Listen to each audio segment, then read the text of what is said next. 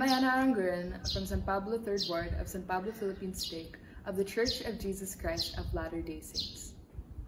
This is the restoration of the fullness of the gospel of Jesus Christ, a bicentennial proclamation to the world from the First Presidency and Council of the Twelve Apostles of the Church of Jesus Christ of Latter-day Saints.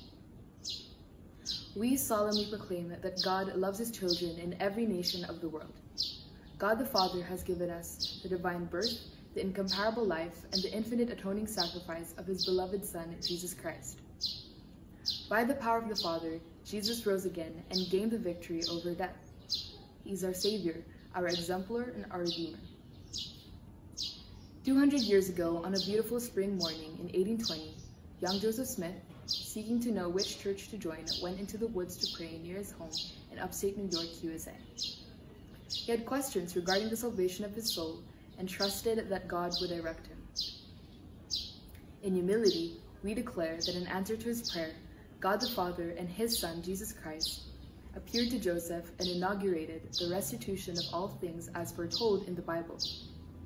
In this vision, he learned that following the death of the original apostles, Christ's New Testament church was lost from the earth. Joseph would be instrumental in its return. We affirm that under the direction of the Father and the Son, heavenly messengers came to instruct Joseph and re-establish the Church of Jesus Christ. The resurrected John the Baptist restored the authority to baptize by immersion for the remission of sins. Three of the original twelve apostles, Peter, James, and John, restored the apostleship and keys of priesthood authority. Others came as well, including Elijah, restored the authority to join families together forever in eternal relationships that transcend death. We further witness that Joseph Smith was given the gift and power of God to translate an, to translate an ancient record, the Book of Mormon, another testament of Jesus Christ. Pages of the sacred text include an account of the personal ministry of Jesus Christ among people in the Western Hemisphere soon after his resurrection. It teaches of life's purpose and explains the doctrine of Christ, which is central to that purpose. As a companion scripture to the Bible, the Book of Mormon testifies that all human beings are sons and daughters of a loving Father in heaven, that He has a divine plan for our lives, and that His Son, Jesus Christ, speaks today as well as in days of old.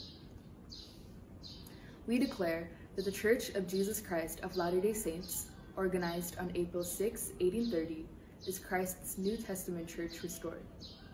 This church is anchored in the perfect life of its chief cornerstone, Jesus Christ, and in his infinite atonement and literal resurrection.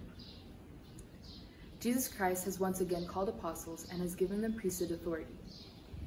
He invites all of us to come into him and his church to receive the Holy Ghost, the ordinances of the, of the salvation, and to gain enduring joy. 200 years have now elapsed since this restoration was initiated by God the Father and his beloved Son, Jesus Christ. Millions throughout the world have embraced the knowledge of these prophesied events. We gladly declare that the promised restoration goes forward through continuing revelation. The earth will never again be the same as God will gather together in one all things in Christ. With reverence and gratitude, we, as his apostles, invite all to know, as we do, that the heavens are open. We affirm that God is making known his will for his beloved sons and daughters. We testify that those who prayerfully study the message of the restoration and act in faith will be blessed to gain their own witness of its, of its divinity and of its purpose, to prepare the world for the promised second coming of our Lord and Savior, Jesus Christ. I would like to share my testimony of the restoration of the fullness of the gospel of Jesus Christ. I know that Joseph Smith is the prophet of restoration and that he is truly called of God. I know that Heavenly Father and Jesus Christ helped Joseph Smith and guided him through the Spirit to restore the gospel. I know that the Book of Mormon is true and that it contains the Word of God. And I would like to leave these things in the name of Jesus Christ. Amen.